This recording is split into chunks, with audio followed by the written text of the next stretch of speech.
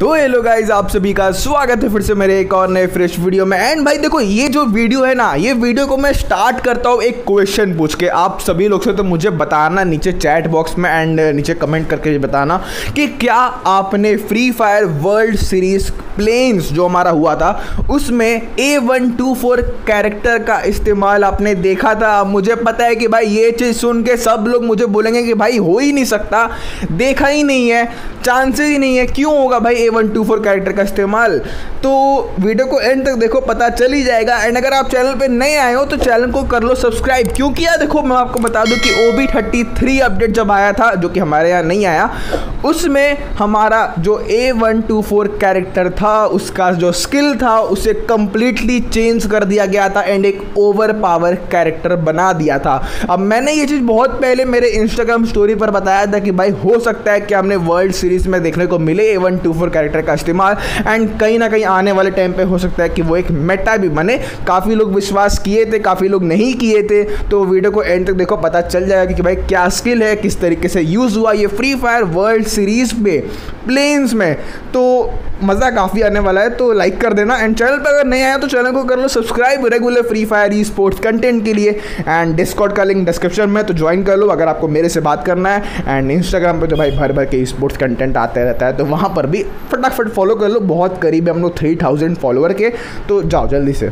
अब गाइज़ ये था हमारा मैच नंबर सिक्स परगेटरी का Free Fire World Series plains का, जहाँ पर हमें देखने को मिलता है कि काफ़ी सिंपल प्लेन पाथ रहता है एंड हमारी जो टीम है हाउस ऑफ़ ब्लड पाकिस्तान की टीम और हमारी team all star e sports यहाँ पर उतरती है सेम एरिया पे जो कि था हमारा माउंट विला और गोल्फ कोर्स का एरिया एंड भाई माउंट विला और गोल्फ कोर्स के एरिया में जब भी फाइट होता है तो बचना ईजी होता है, कोई भी प्लेयर यहाँ पर एस्केप हो जाता है एंड फाइट या तो आप जीतोगे या तो आप हारोगे मतलब ऐसा ज़रूरी नहीं है, वहाँ पर कोई भी प्लेयर भाग जाता है, कभी भी यहाँ पर हो जाता है ऐसा कुछ। एंड यही चीज़ हमें देखने को मिला। हाउस ऑफ़ ब्लड के प्लेयर्स काफ़ी अच्छे तरीके से यहाँ पर खेल रहे थे, जहाँ पर उन्होंने क्या किया बेसिकली अपने तीन प्लेयर्स को यहाँ पर माउंट विला भेज दिया एंड एक प्लेयर उनका जो है लैंडिंग के टाइम पे नीचे उतर गया गोल्फ कोर्स में, ताकि अगर कोई प्लेयर वहाँ पर मर जाता है तो भाई वो जो है उन्हें रिवाइव दे देंगे। एंड बाई चांस अगर भागना भी हुआ तो वो वहाँ से एस्केप कर सकते हैं। काफ़ी अच्छे तरीके से यहाँ पर कवर प्रोवाइड कर रहे थे हाउस ऑफ़ ब्लड के जो हमारे थे होगा था जिनके पास में एम था, जो कि पीछे से कवर दे रहे थे। एंड जो बाकी तीन प्लेयर्स थे हाउस ऑफ़ ब्लड के वो यहाँ पर रश कर रहे थे। तीन थ्री वी थ्री फाइट था एंड काफ़ी अच्छे तरीके से यहाँ पर जो है हाउस ऑफ़ ब्लड के प्लेयर्स ने यहाँ पर तीन किल्स अर्ली स्टेज में मैच के चौथवे मिनट में यहाँ पर ले लिया था, जो कि एक काफ़ी बढ़िया बात थी। हाउस ऑफ़ ब्लड को किल्स मिल चुके थे बट अब जो है उन्हें करना था रोटेशन अब यहाँ पर हाउस ऑफ़ ब्लड के प्लेयर्स का जो रोटेशन था, वो काफ़ी इजिली हो जाता क्योंकि उनके पास यहाँ पर व्हीकल्स भी थी एंड जो जोन एक्सट्रीम कटा था तो उनका भी उन्हें कोई दिक्कत नहीं वो इजिली यहाँ पर ब्राजीला जा सकते थे। बट यहाँ पर जो दिक्कत थी, वो थी ऑल स्टार ई स्पोर्ट्स के सोलो प्लेयर को, जो कि यहाँ पर क्वेरी के साइड अकेले वहाँ पर टोकन का इस्तेमाल करके बंदे को, अपने टीममेट्स को यहाँ पर रिवाइव देने का कोशिश कर रहे थे। अब बेसिकली यहाँ पर हुआ ये कि क्वेरी एक ऐसा एरिया है जहाँ पर यू नो आपको अच्छी लूट मिलती नहीं है टोकन्स बहुत कम रहते हैं एंड ऐसे में एक दो प्लेयर मैक्सिमम वहाँ पर लूट करता है, ज़्यादा से ज़्यादा।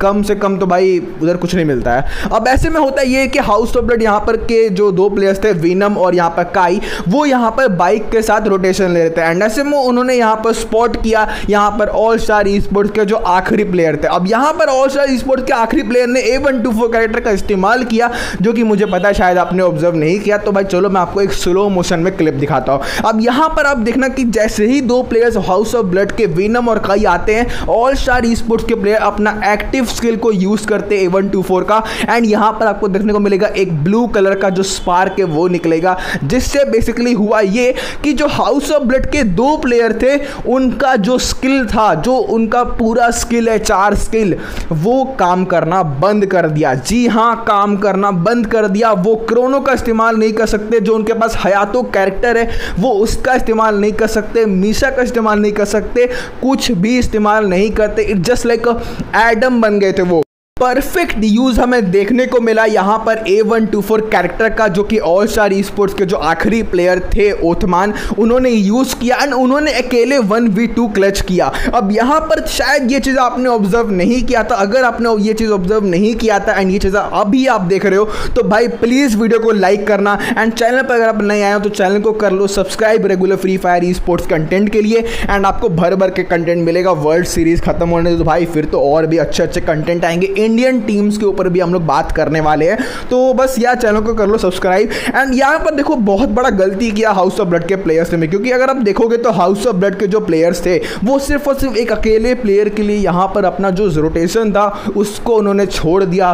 देखो वन वी टू फाइट था। आई नो कि ईजिली हो सकता था बट कहीं ना कहीं ये चीज़ें फिर भी आपको एक खेल के चक्कर में आप एक इतने बड़े टूर्नामेंट में जिनका प्लेइंग चल रहा है, जहाँ पर आप काफ़ी अच्छा ठीक ठाक एक एवरेज परफॉर्मेंस दे रहे थे पिछले मैचेस में तो ये चीज़ करना ज़रूरी नहीं बनता था यहाँ पर हाउस ऑफ़ ब्लड के प्लेयर्स ने। हालाँकि हाउस ऑफ़ ब्लड के प्लेयर्स यहाँ पर वापस से रिवाइव होते हैं एंड वीडियो यहाँ पर एंड नहीं होता है, क्योंकि हमें देखने को मिलता है कि भाई जो ऑल स्टार स्पोर्ट के आखिरी प्लेयर थे, वो यहाँ पर अपने प्लेयर्स को रिवाइव दे चुके थे। अब ऐसे में क्या हुआ कि ऑल स्टार स्पोर्ट्स के जो बाकी प्लेयर थे, वो यहाँ पर ब्राजीला साइड में चल गए थे। यहाँ पर जो ऑल स्टार स्पोर्ट्स के बाकी के तीन प्लेयर्स थे, वो यहाँ पर ब्राजीला से वापस रोटेशन लेते हैं। मतलब जो ब्राजीला का सेवन हाउस रहता है, इन्होंने वहाँ पर लूट किया।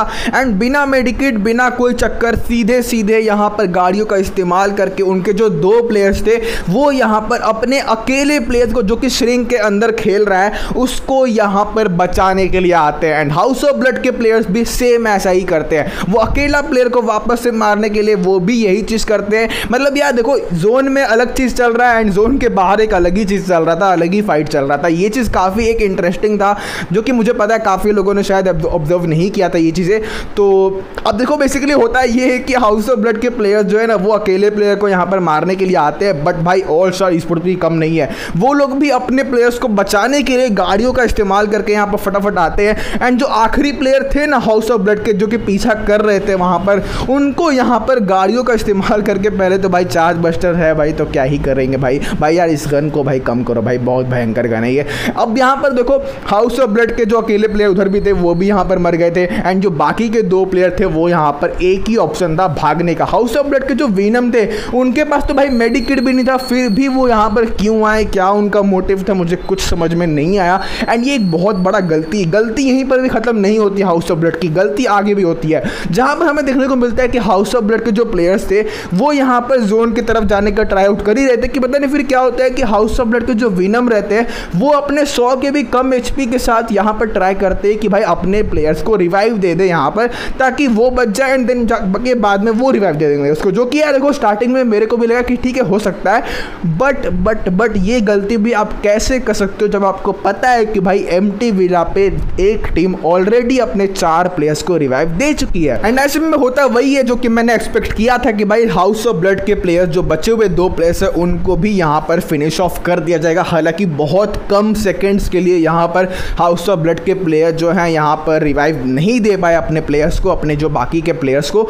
एंड यहाँ पर चार किल मिल जाता है ऑल स्टार ई स्पोर्ट्स के प्लेयर्स को। हाउस ऑफ़ ब्लड की पूरी टीम यहाँ पर एलिमिनेट हो जाती है आठवें पोजीशन पे। मतलब यार देखो, इतने बड़े टूर्नामेंट में एक किल के लिए सिर्फ़ आपकी पूरी टीम एलिमिनेट हो गई। एंड जिस टीम के पीछे आप भाग रहे थे, उनके यहाँ पर तीन प्लेयर्स ज़िंदा है, जो कि चौथे प्लेयर्स भी हो जाएँगे ज़िंदा, क्योंकि टोकन्स मिल गया था बाद में। एंड ये था पूरा सिनेरियो एंड गैस इस वीडियो को मैं एंड करना चाहूँगा ए वन टू फोर का स्किल बता के, जहाँ पर basically A one two four का स्किल ये है, अभी भी इसका एक्टिव स्किल है मैक्स होने पे अगर आप इसे यूज़ करते हो तो ये एक इलेक्ट्रोमैग्नेटिक वेव फेंकेगा अपने एनिमी के ऊपर। एंड जो भी एनिमी के ऊपर ये वेव आ गया, वो थर्टी सेकेंड तक उनके जो चार स्किल रहेंगे, वो उसे यूज़ नहीं कर पाएगा। मतलब कि जो आपको दिखता है ना गेम में कि वो जो स्किल है, वो चार्ज हो गया थोड़ा सा लाइट जलता है उसमें, वो नहीं होने वाला, चारों स्किल इसका बंद हो जाएगा। एंड बाई सेकेंड्स देखो थर्टी सेकेंड्स मुझे नहीं पता कि ओ बी थर्टी फोर में इसको नर्फ किया है कि बफ किया है but O B thirty three का स्क्रीनशॉट मैं आपको दिखा रहा हूँ। तो ये था पूरा इसका स्किल इसके ऊपर मैं पोस्ट भी डालूँगा एक अपडेटेड वर्जन का, जो कि ओ बी थर्टी फोर का होगा, अगर इसमें कुछ चेंज आया है तो। गाइस करना कुछ भी नहीं है आपको। नीचे डिस्क्रिप्शन में लिंक है इंस्टाग्राम का। जाओ, जल्दी से फॉलो कर लो एंड आपको बहुत कुछ उधर मिलता है ई स्पोर्ट्स कंटेंट